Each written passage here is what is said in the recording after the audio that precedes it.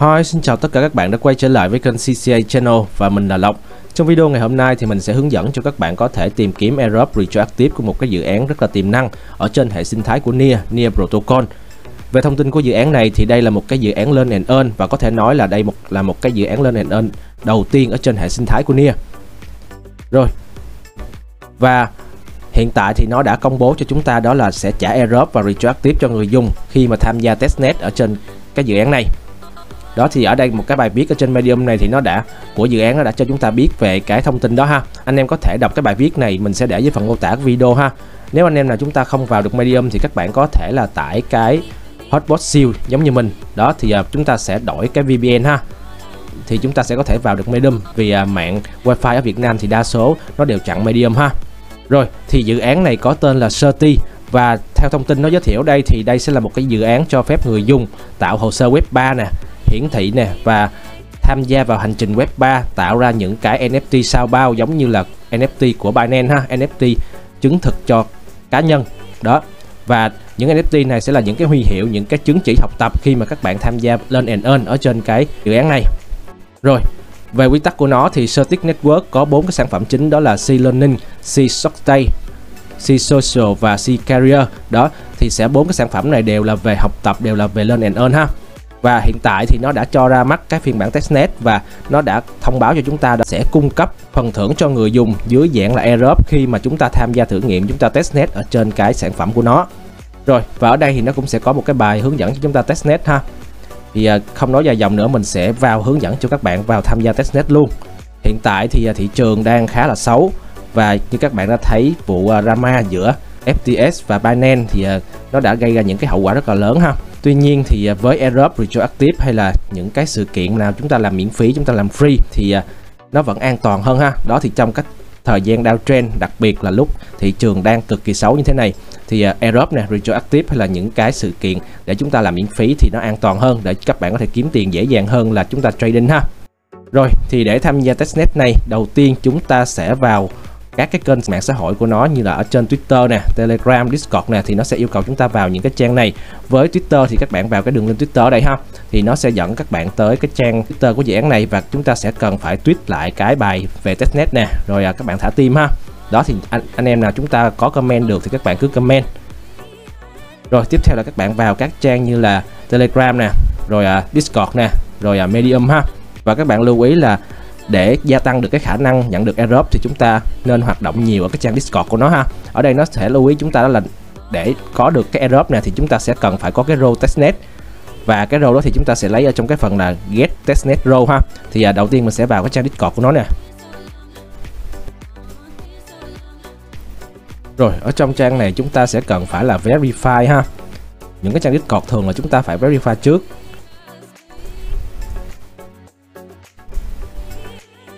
Rồi ở đây nó yêu cầu chúng ta là nhấn vào cái biểu tượng này, cái biểu tượng của dự án ha. Đó thì sau khi các bạn nhấn vào biểu tượng này verify xong thì à, nó sẽ hiện ra rất là nhiều cái mục để chúng ta lựa chọn nè. Các bạn vào các bạn vào cái phần là get testnet role nè thì ở đây nó sẽ hướng dẫn cho chúng ta đó là lấy được cái role testnet ha thì các bạn cứ việc là hoạt động ở trong cái trang discord này rồi à, tìm kiếm những cái cách để lấy role và nhận được cái role testnet thì các bạn sẽ có cơ hội thêm để nhận được à, cái phần thưởng airdrop retroactive từ cái dự án này ha đó thì các bạn cứ tìm hiểu trong cái phần này. Còn ở đây thì mình sẽ hướng dẫn cho các bạn có thể vào testnet được các, những cái tính năng ở trong dự án của nó. Rồi thì sau khi chúng ta vào cái trang Discord và tìm hiểu về cái role rồi thì ở đây để vào testnet được thì chúng ta sẽ cần có một cái ví nia mà ví nia testnet ha. Đó, các bạn không cần tạo ví nia chính. Ở đây nó yêu cầu chúng ta là tạo một cái ví nia testnet thì nó cũng giống như cái ví nia chính thôi. Rồi thì các bạn nhấn vào cái đường link testnet ở chữ tại đây ha. Đó thì nó sẽ dẫn chúng ta qua cái tạo tài khoản ví nia tạo tài khoản Vini ở đây là Vini testnet ha. Đó, rồi các bạn tạo cái ID nè. Mình sẽ đặt là CCA channel ha. Rồi, tiếp theo chúng ta sẽ à cái cái tên này có rồi. Mình đặt là một nè. Rồi, sau khi các bạn đặt tài khoản không có bị trùng thì chúng ta sẽ nhấn vào cái phần là My Account ID ha. Ở đây sẽ có là cụm khôi phục bí mật nè. Thì à, những cái tài khoản ví, những cái loại ví thì nó cũng tương tự nhau thôi ha. Đó, thì ở đây chúng ta sẽ lựa chọn là cụm từ khôi phục bí mật, rồi chúng ta sẽ nhấn vào tiếp tục ha. Ở đây nó cũng sẽ có 12 cái cây ví để cho các bạn có thể copy lại, các bạn nhớ copy lại và lưu trữ nó ha. Rồi, chúng ta sẽ nhấn vào tiếp tục nè. Ở đây nó sẽ yêu cầu chúng ta điền lại cái từ thứ năm ở trong ờ, cái thứ tự cái ví đó, thì ở đây mình sẽ điền lại một nè 2 3 4 5 từ index ha. Đó, thì các bạn sẽ điền lại dưới này. Ở cái ví này thì nó chỉ hỏi mình, chúng ta có một từ thôi, nên là các bạn chỉ cần là pass lại nè xem cái thứ tự từ đó thế nào rồi các bạn cứ dán vào các bạn cứ ghi vào là xong ha. Rồi thì à, mình đã tạo thành công cái ví NIA testnet và sau khi các bạn tạo xong cái ví NIA testnet này thì nó sẽ cho các bạn là 200 đồng NIA luôn ha. Chúng ta không cần phải faucet hay là không cần phải claim đồng token testnet ở đâu cả. Khi các bạn tạo ví testnet nó sẽ cho sẵn các bạn là 200 đồng NIA testnet luôn ha. Nên là khi tạo ví này các bạn khá là khỏe. Chúng ta không cần phải đi faucet từng à, khoảng thời gian hay từng cái đợt để có thể nhận được cái đồng NIA testnet ha. Rồi thì khi đã có ví NIA testnet rồi chúng ta sẽ quay lại cái bài viết của nó nè. Ở đây nó sẽ yêu cầu chúng ta là truy cập vào testnet sortay cái trang của dự án ha trang chủ của dự án. Rồi thì à, đây chính là cái giao diện trang chủ của dự án này và nó sẽ yêu cầu chúng ta đó là đăng nhập bằng cái ví NIA đó thì ở đây các bạn sẽ login vào bằng ví NIA ha testnet thì nhiều khi nó sẽ hơi lắc và nó sẽ hơi giật ha các bạn. Nên là cái việc mà chúng ta đợi lâu này hay là chúng ta uh, test không được những cái tính năng gì đó thì nó cũng chỉ là chuyện bình thường thôi ha. Cái này thì mình đã có nói nhiều lần với anh em rồi ha. Testnet thì các bạn nên là kiên nhẫn một chút xíu. Rồi thì ở đây nó cũng sẽ có kết nối giống như việc chúng ta kết nối với các loại ví khác như là MetaMask thôi. Chúng ta sẽ nhấn vào Nest nè. Rồi ở đây chúng ta sẽ nhấn vào kết nối đó. Nó sẽ yêu cầu chúng ta tốn một xíu phí Near Testnet ha. Đó cái phí này là phí mạng lưới. Thì à, việc kết nối này cũng giống như việc chúng ta kết nối MetaMask hay là những cái loại ví khác thôi.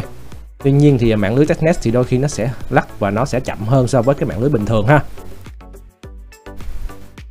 Rồi, thì mình đã kết nối thành công nè, chúng ta có thể thấy được cái tài khoản Vinia ở phía góc bên phải này ha. Sau khi đã kết nối thì chúng ta sẽ tiến hành đó là mở một cái bộ sưu tập. Đó, chúng ta sẽ vào cái phần này ha. Hoặc là các bạn có thể nhấn vào cái đường link ở đây, nó sẽ dẫn các bạn tới ngay cái phần đó luôn. Rồi thì mình sẽ nhấn vào cái phần này ha ở trong phần này là các bạn sẽ cần phải tạo một cái bộ sưu tập NFT mà cái bộ sưu tập NFT ở đây là những cái bộ sưu tập lên and earn những cái tài liệu về à, học tập những cái tài liệu về kiến thức ha. Đó thì nó sẽ khác với cái NFT bình thường. Thì ở đây nó chỉ yêu cầu chúng ta là tạo một cái bộ sưu tập NFT thôi nên là chúng chúng ta cũng chỉ làm đơn giản thôi. Rồi các bạn sẽ nhấn vào cái phần đó là New Collection nè. Ở đây ha. Rồi sau khi nhấn vào phần New Collection thì nó yêu cầu chúng ta là tạo một bộ sưu tập với là tiêu đề nè rồi mô tả hình ảnh nè và các cái trường bổ sung khác để hoàn thành cái bộ sưu tập này như là tên nè kỹ năng nè biểu trưng nè. Đó thì chúng ta sẽ bổ sung vào đây ha. Rồi đầu tiên đó là chúng ta sẽ đặt cái tiêu đề bộ sưu tập ha. Thì à, mình sẽ đặt tên kênh luôn. Rồi tiếp theo đó là upload cái ảnh bìa lên. Mình sẽ upload cái logo của CCA ha đó cuối cùng đó là sự mô tả nè mô tả thì các bạn muốn ghi sao cũng được ha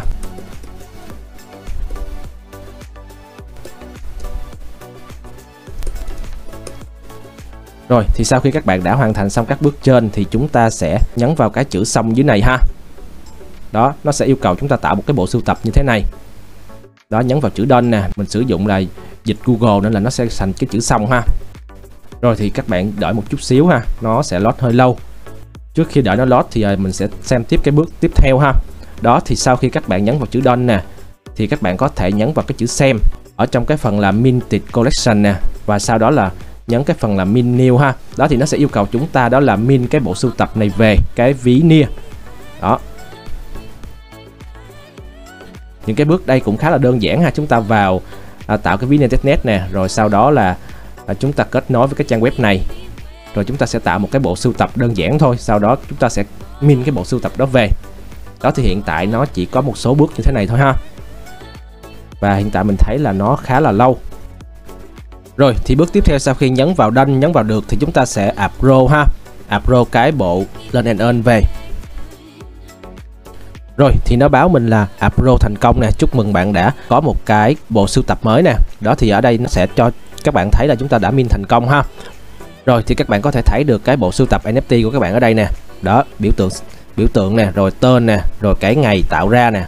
Sau khi các bạn đã tạo bộ sưu tập xong thì à, bước tiếp theo nó sẽ yêu cầu chúng ta đó là vào min cái bộ sưu tập này về. Đó sau cái bước tạo bộ sưu tập này thì tiếp theo chúng ta sẽ cần là min cái chứng chỉ cái bộ sưu tập lên and earn này về ha. Đó thì chúng ta sẽ nhấn vào cái phần view ha.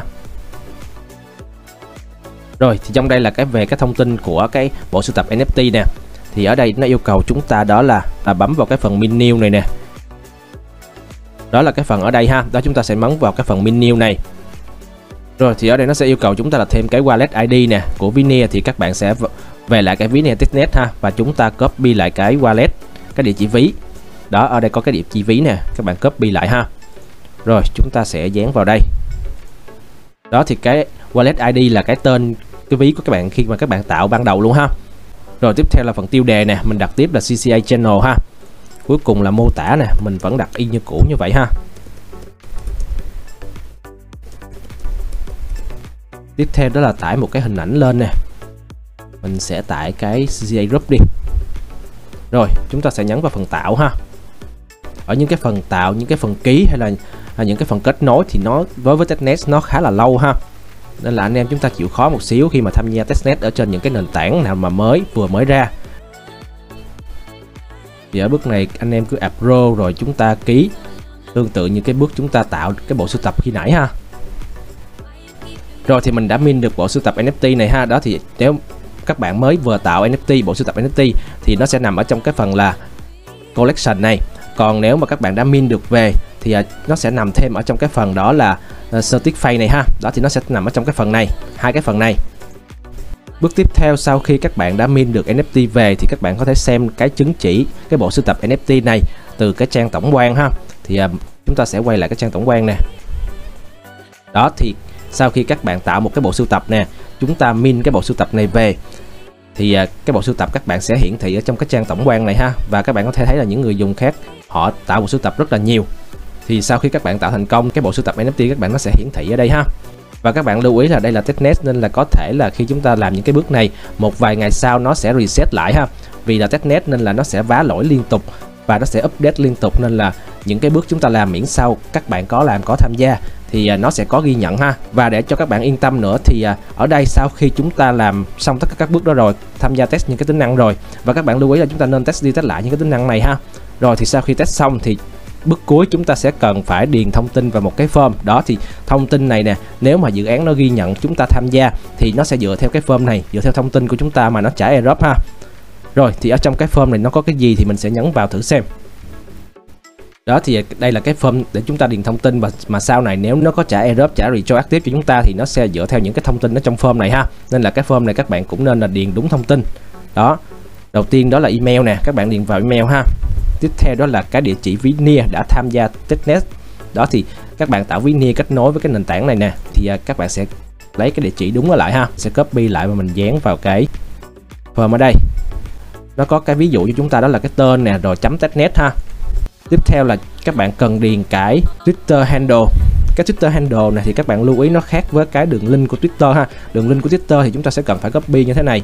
Còn Twitter handle thì chỉ cần sau cái dấu a còng thôi và thường những cái form nó yêu cầu Twitter handle thì nó sẽ có cái ví dụ là à, có chữ a còng cho chúng ta. Đó. Rồi tiếp theo sẽ là Telegram ha. Đối với những cái form nào nó cần chúng ta là điền cái đường link thì nó sẽ là à, có ví dụ ra cho chúng ta đường link còn đối với những cái dự án nào mà nó yêu cầu chúng ta là cái handle có cái a còng trước thì nó sẽ có cái ví dụ cho chúng ta ha nên là các bạn yên tâm. Rồi Discord nè nó cũng có cái ví dụ cho chúng ta là các bạn vào lấy cái ID của Discord ha như mình nè đó cái ID Discord nó nằm ở đây. Các bạn copy lại ha. Rồi chúng ta sẽ dán lại vào cái phần Discord ở đây. Đó. Tiếp theo phần này sẽ là phần feedback ha. Nếu mà các bạn trong quá trình tham gia testnet chúng ta tìm được những cái lỗi gì ở trong dự án Những cái lỗi uh, khó thì các bạn có thể là feedback ở trong đây. Mỗi cái dự án nó rất là hoan nghênh khi mà người dùng tìm ra được những cái lỗi của nó để nó có thể hoàn thiện cái dự án hơn ha. Nên là nếu mà các bạn tìm được một cái lỗi gì đó feedback vào đây và nó ghi nhận những cái lỗi đó Thì các bạn có cơ hội rất là cao sẽ nhận được airdrop retroactive từ dự án ha. Rồi thì uh, ở đây mình làm nhanh thôi. Mình không có lỗi gì thì mình cứ ghi một cái nhận xét nào đó vào ha rồi, bạn có bất kỳ phản hồi nào cho nhóm dự án? Mình ghi là no ha. Đó, thì ở đây mình chỉ làm tượng trưng cho các bạn xem ha. Còn các bạn muốn là ờ, góp ý cái gì đó hoặc là trong quá trình testnet có những cái lỗi gì đó thì các bạn có thể góp ý vào đây để gia tăng cái khả năng nhận error retroactive của chúng ta ha. Rồi, thì sau khi các bạn làm xong, chúng ta sẽ nhấn vào cái phần gửi nè. Là các bạn đã hoàn thành xong được cái testnet này ha. Đó, thì nó cũng khá là đơn giản thôi và dự án này thì nó đã công bố cho chúng ta đó là sẽ trả airdrop retroactive cho những người dùng tham gia testnet, tham gia thử những cái tính năng của nó ha Rồi, và tất cả đường link liên quan cũng như là các bước tham gia thì mình cũng sẽ để dưới phần mô tả video ha. Và video của mình xin kết thúc tại đây. Nếu các bạn cảm thấy video hay và hữu ích thì có thể để lại cho mình một like và một subscribe. Cảm ơn các bạn đã theo dõi và hẹn gặp lại các bạn ở những video sau.